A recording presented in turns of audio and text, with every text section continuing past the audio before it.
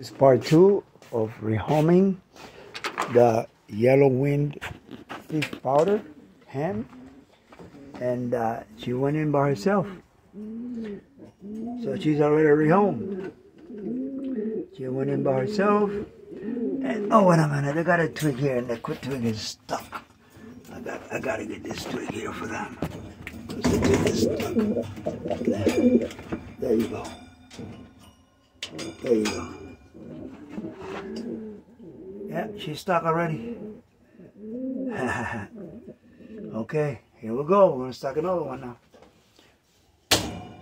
Now this one right here. Whew. Okay.